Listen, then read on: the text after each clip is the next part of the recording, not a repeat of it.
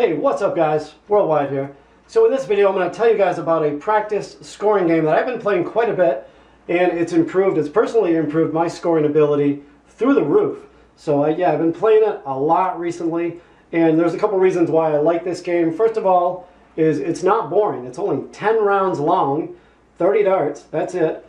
And secondly, it replicates a, what would happen in a real life match situation. You know, there's a lot of practice games out there where you're just continually throwing at one segment over and over. It gets boring and that really doesn't, you know, that's not what happens in a real life match. You know, you don't throw at one segment all the time. You can go for cover shots. So that's why I like this practice game so much. Now, let me tell you about it. Okay, so let me explain how this game works. It's super easy, 10 rounds, 30 darts, and that's it. You're going to be using the scoring segments 20s, 19s, and 18s. Those are the three most important scoring segments when you're playing 501. So in the first round, let's say you throw and hit five 20s. So now you have a score of five after round one. You're only going to keep track of the marks hit in each of these three scoring segments. So in round two, let's say your first dart completely blocks the treble bed. So now you're going to go for cover shot on the 19s, and let's say you pick up four of those. So now after round two, you have a total score of 10. And going into round three, again, let's say that first dart blocks the treble bed. You come down here for cover.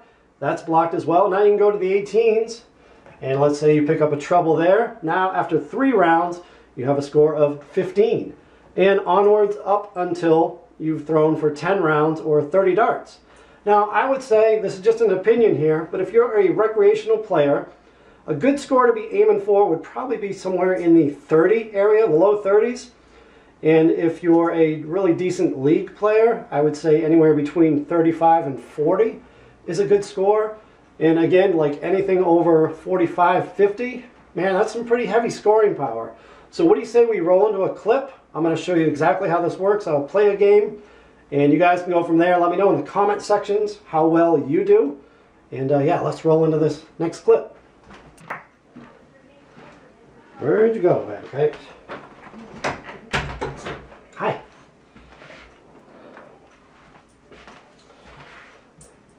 Okay, here we go. 10 scoring rounds using the 20s, 19s, and 18s.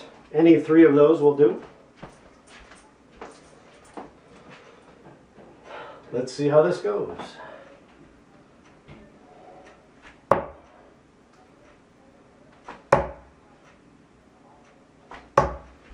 Hey, that was a good start.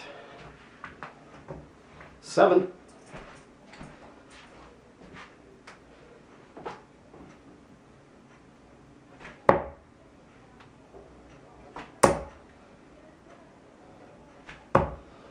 Nice.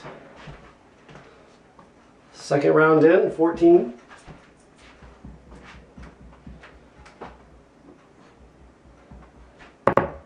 Uh, dropped my dart.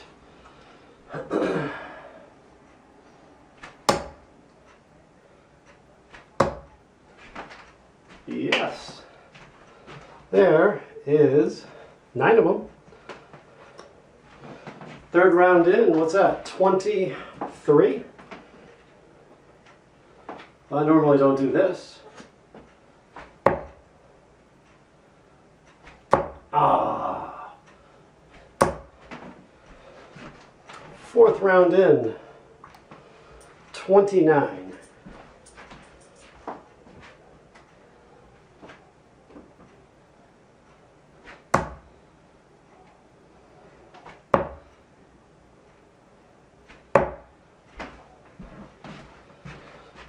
Uh, so what was that? Fifth round in, 34.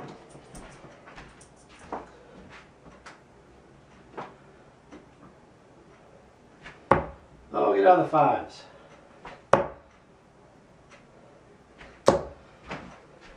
Watch out, Abby. Six round in, 38, right? I lost track. Yeah, six round in, 38. Oof.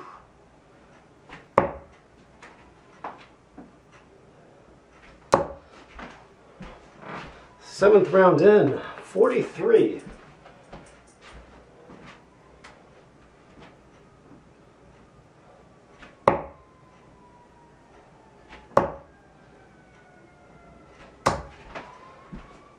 Eighth round in, 48. Oh, and the bonus sirens.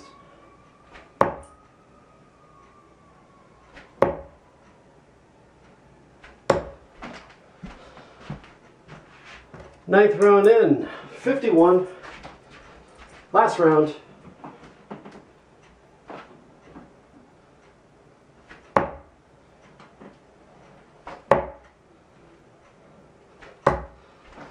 And five more. So that gives us 10 rounds, 56 scores. So that's 5.6 marks on average every turn, which is, that's some pretty good scoring. Um, normally my goal is just to get above at least 40. So there you go guys, it's a great scoring game. It replicates a real match because you are allowed to go for cover shots. Uh, give it a try, let me know how you guys do, and we'll see you on the next video guys. Later.